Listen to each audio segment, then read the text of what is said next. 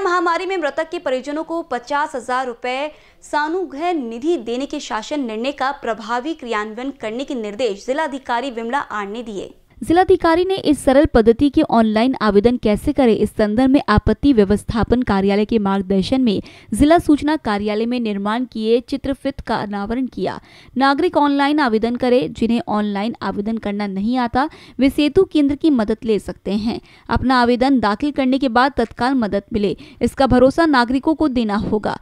सभी सेतु केंद्र पर आवेदन जमा करने की सुविधा उपलब्ध कराई है। मनपा क्षेत्र में नागरिक सुविधा केंद्र पर भी यह सुविधा है। ज़िले के ग्रामीण क्षेत्र में सेतु केंद्र पर कोविड मरीजों के रिश्तेदारों को आवेदन भरकर देने का निर्देश दिया गया है। कैमरा पर्सन राजकुमार मोहर के साथ अभिषेक पांसी बीसीएन न्यूज़ नागपुर।